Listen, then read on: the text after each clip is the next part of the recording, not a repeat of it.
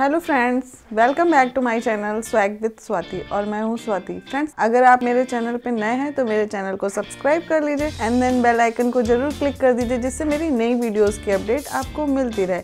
और फ्रेंड्स मैं अपने वीडियो में आज बात करने वाली हूँ कि आप अपने डिलीवरी के लिए हॉस्पिटल बैग में क्या क्या पैक करें और स्पेशली ये वाला जो वीडियो है हमारा, वो विंटर्स के लिए, क्योंकि मेरी जो डिलीवरी है वो विंटर में होने वाली है जनवरी में.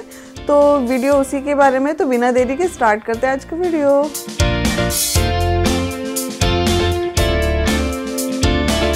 फ्रेंड्स आज के वीडियो में हम आपके साथ शेयर करने वाले हैं कि मैंने अपने हॉस्पिटल बैग में डिलीवरी के लिए क्या क्या आइटम्स पैक किए हुए हैं। तो आज का वीडियो हमारा डिलीवरी के लिए क्या क्या मैंने आइटम पैक किए हैं, जो हॉस्पिटल में यूज़ होने वाले हैं हॉस्पिटल बैग में। क्या पैक किया है तो उसी के बारे में है। तो फिर देखते हैं फ्रेंड्स मैंने क्या क्या आइटम पैक किए हैं। फ्रेंड्स मैंने ये नर्सिंग गाउन पैक किए हैं, चार। मैंने चार नर्सिंग गाउन पैक किए हैं, जो हमारे इस टाइप के दिखते हैं।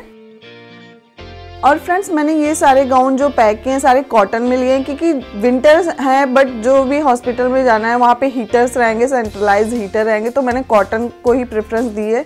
क्योंकि कॉटन से ज़्यादा वुलन उतना कंफर्टेबल नहीं रहता है, और मुझे लेयरिंग करनी होगी। तो उसके लिए मैं स्वेटर वगैरह रखूँगी। बट मैंने गाउन को कॉटन में प्रेफरेंस दी तो मैंने ये सारे गाउन कॉटन के लिए हुए। ये गाउन हमारे कुछ इस टाइप के हैं फीडिंग गाउन है। इस टाइप से यहाँ भी साइड से खुल जाएँगे, इस साइड भी साइड से ऐसे पूरे खुल जाएँगे, जिससे आप बेबी को अपने फ़ीड करा सकते हो। इस टाइप से खुल जाएँगे ये। आई होप आप समझ पा रहे होगे।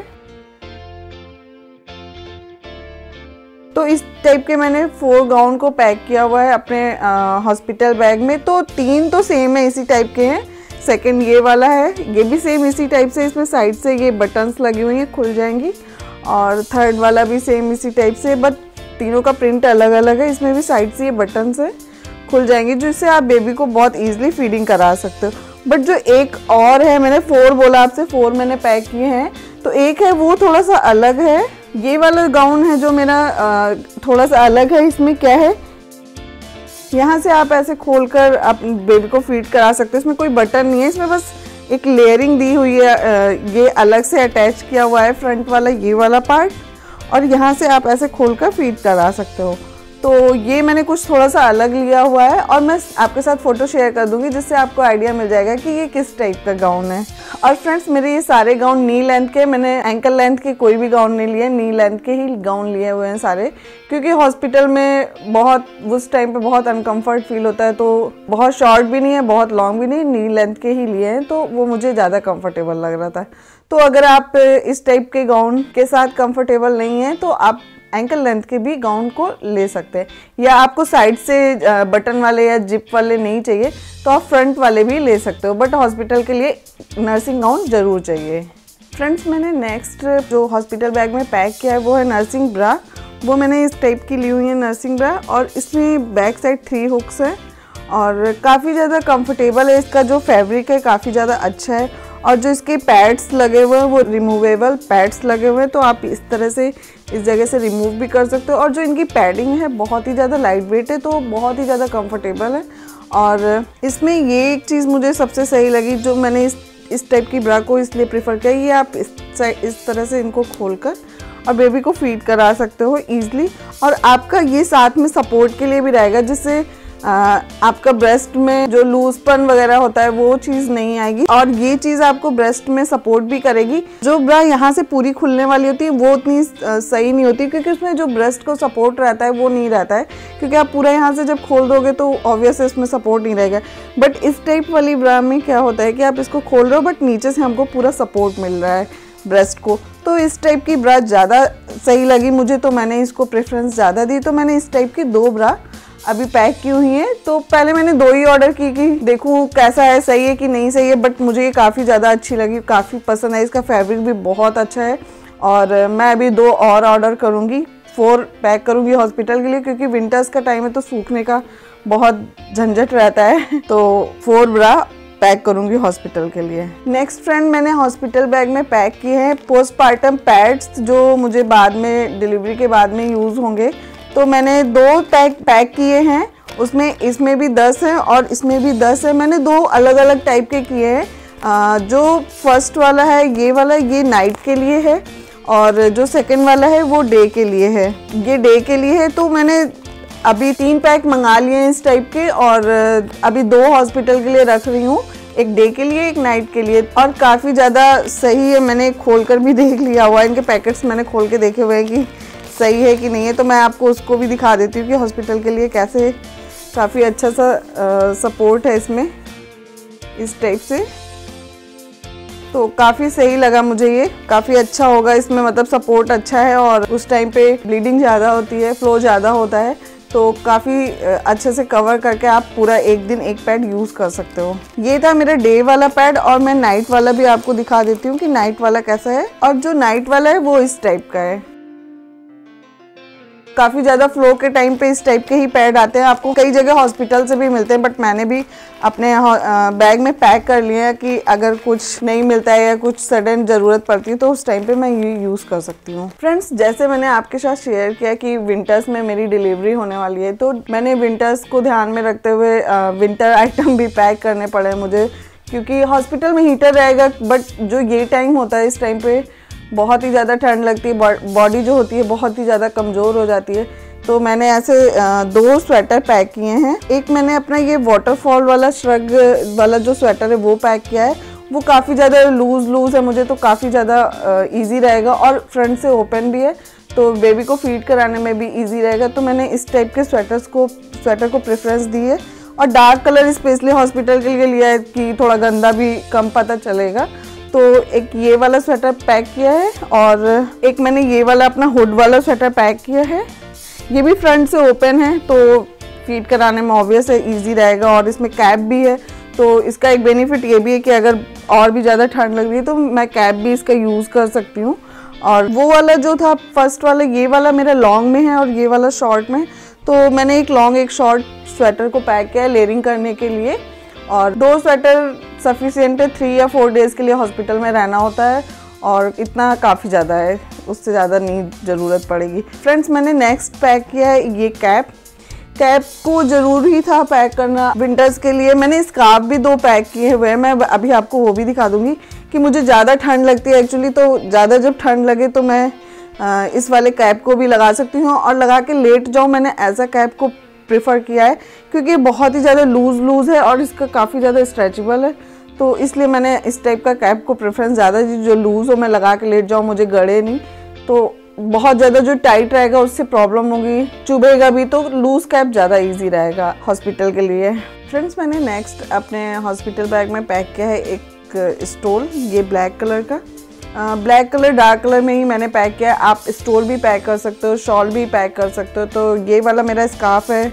स्टोल टाइप का काफ़ी ज़्यादा लंबा चौड़ा है तो ये मैंने एच एन एम से परचेज़ किया है। मेरे पास यहाँ शॉल नहीं था और यहाँ शॉल मिलते भी नहीं है तो मैंने इस टाइप का बड़ा सा स्काफ पैक कर लिया। और इस स्काफ को ऐसे रैप करके यहाँ बटन भी है तो आप फ्री हैंड भी रह सकते हो बटन लगाकर। मैं फ़ोटो इसका आपके साथ शेयर कर दूँगी कि इसको कैसे बटन अप करना है।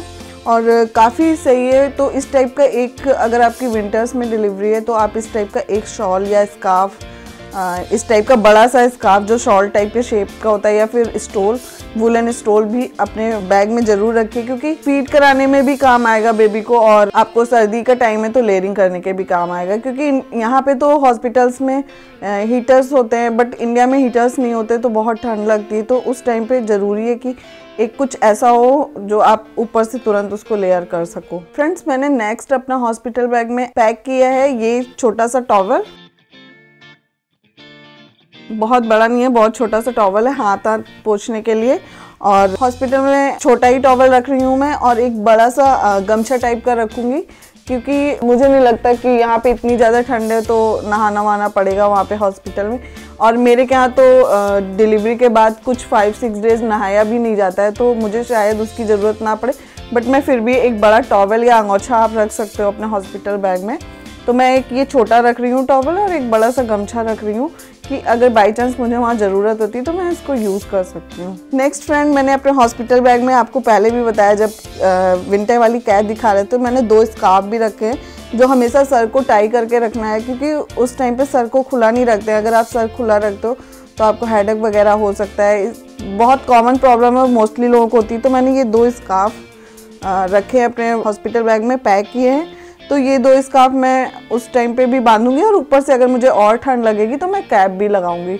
तो मैंने ये दो स्कार्फ रखे हैं अपने हॉस्पिटल बैग में, जो मुझे हेडक वगैरह या ठंड से भी बचाएँगे और ज़्यादा ठंड लगने पे। कैप को अप्लाई करूँगी। और फ्रेंड्स मैंने नेक्स्ट अपने हॉस्पिटल बैग में पैक किया ये सेवन पैंटीज़ अगर आप चाहो तो डिस्पोजेबल वाली पैंटी भी ले सकते हो और अगर आपके पास पुरानी नहीं है, अगर आपके पास पुरानी पैंटीज़ है तो आप अपने हॉस्पिटल बैग में सेवन पैंटीज़ पैक करो पुरानी। तो मैंने ये मेरे पास पुरानी थी, अगर मंगाएँगे उधर पे हॉस्पिटल में डिस्पोजेबल वाली पैंटी तो मैं वो भी मैंने देख लिया है, कहाँ मिल रही है तो मैं मंगा लूँगी। बट मैंने अभी ये पुरानी वाली पैक कर लिया क्योंकि फ्लो ज़्यादा होगा तो उस टाइम पे वैसी पैंटी पुरानी चाहिए जिनको आप यूज़ करके फेंक सको। तो मैंने ये सेवन पैक कर लिए हैं और इनको यूज़ करके मैं फेंक भी सकती हूँ इसलिए तो कोई प्रॉब्लम नहीं है। और नेक्स्ट मैंने फ्रेंड्स अपने हॉस्पिटल बैग में पैक किए हैं सॉक्स तो मैंने ऐसे four socks woollen socks pack किए हैं जो प्योर वूल के हैं और काफ़ी सही है। तो मैं मैं एक दिन के अलावा दूसरे दिन सॉक्स नहीं पहनती तो मैंने इसलिए फोर सॉक्स इस टाइप के पैक किए, जो सर्दी का टाइम है तो बहुत ही ज़्यादा ज़रूरत पड़ेगी पैर, और मेरा वैसे भी गाउन जो हैं नी लेंथ के हैं तो मुझे सॉक्स की बहुत ज़्यादा ज़रूरत पड़ेगी। और यहाँ पे लॉन्ग वाले गाउन नहीं मिलते हैं तो मैंने फिर नी लेंथ वाले ही गाउन प्रेफर किए हैं। और सॉक्स भी रख लिए अगर ठंड लगती है तो सॉक्स वियर करेंगे, अगर नहीं लगती है तो कोई प्रॉब्लम नहीं है हीटर तो हॉस्पिटल में है और लगेगी तो कंफर्टेबल रहेगा। तो मैंने इसलिए फोर पैक सॉक्स को पैक कर लिया है। और फ्रेंड्स अब नेक्स्ट मैं बात करूँ टॉयलेटरीज़ की तो मैंने उसमें अपने टॉयलेटरीज़ में वेट नैपकिनस को पैक किया हुआ है। तो मैंने ये वाले वेट नैपकिनस को पैक किया अपने हॉस्पिटल बैग में। और इससे मुझे कुछ थोड़ा बहुत वाइप वगैरह करना है, मुँह साफ़ करना है तो उस टाइम पे मुझे ये यूज़ हो जाएँगे। और मैंने ये एलोवेरा जेल पैक किया है मॉइस्चराइज करने के लिए। तो मैंने छोटा वाला ही एलोवेरा जेल पैक किया है। और ठंड का टाइम है तो लिप्स को भी मॉइस्चराइज करना रहेगा। गर्मियों तो काम चल जाता है बट ठंड तो मैंने ये निविया का ब्लैकबेरी शाइन वाला लिप बाम अपने हॉस्पिटल बैग में पैक किया है और एक टूथ ब्रश पैक किया है और टूथपेस्ट छोटा वाला जो आता है वो पैक किया है और एक कॉम पैक किया है अपने हॉस्पिटल बैग में टॉयलेटरीज में और एक स्लीपर ऐड की है मैंने अपने हॉस्पिटल बैग में। स्लीपर एक ज़रूर होनी चाहिए जो आप पानी में भी पहन के जा सको। ऐसी स्लीपर आपको ज़रूर एक पैक करनी है और जो मैं पहन के जाऊँगी, वो तो पहन के जाऊँगी बट कॉमन मैंने एक स्लीपर पैक की है और एक मैंने सैनिटाइज़र पैक किया है। तो बस इतनी चीज़ें पैक की हैं। मैंने नहाने की, मुझे वहाँ कोई शायद लग नहीं रहा है, मुझे नहाना रहेगा उधर। अगर कुछ होता है तो मैं फिर बाद में उसको मंगा लूँगी। बट मुझे अभी लग नहीं रहा है कि आ, कुछ इस टाइप का मेरे के यहाँ तो नहाया नहीं जाता है फाइव सिक्स डेज़ तो मैंने रखा भी नहीं है उस टाइप का सामान कुछ भी। शैम्पू या फेस वॉश वगैरह तो नॉर्मल चीज़ें रखी हैं और बॉडी मॉइस्चराइज करने के लिए एक निविया का बॉडी मॉइस्चराइज़र भी मैंने पैक किया है। तो बस इतनी चीज़ें ही मैंने अपने टॉयलेटरीज में पैक की हैं। होपफुली मेरा जो वीडियो है वो आपके लिए हेल्पफुल रहेगा क्योंकि मेरी डिलीवरी विंटर्स में होनी है तो मैंने विंटर के अकॉर्डिंग ये वीडियो बनाया हुआ है तो फ्रेंड्स मेरा वीडियो अगर आपके लिए हेल्पफुल रहा हो तो प्लीज़ इसे मेरे साथ ज़रूर शेयर करिएगा, या मैं कुछ भूल रही हूँ तो मुझे कमेंट करके ज़रूर बताइएगा। और वीडियो अगर आपको अच्छा लगा हो तो प्लीज़ इसे थम्सअप ज़रूर दीजिएगा, और आप मुझे प्री अपडेट्स के लिए फॉलो करते रहिए। Instagram Twitter Facebook and Pinterest पर मेरा हैंडल है स्वैग विद स्वाति तो फ्रेंड्स मिलते हैं अगले वीडियो में, तब तक के लिए बाय बाय